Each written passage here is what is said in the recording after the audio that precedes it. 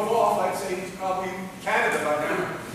The right guy is out there for you, and you're flying each other when neither one of you is looking.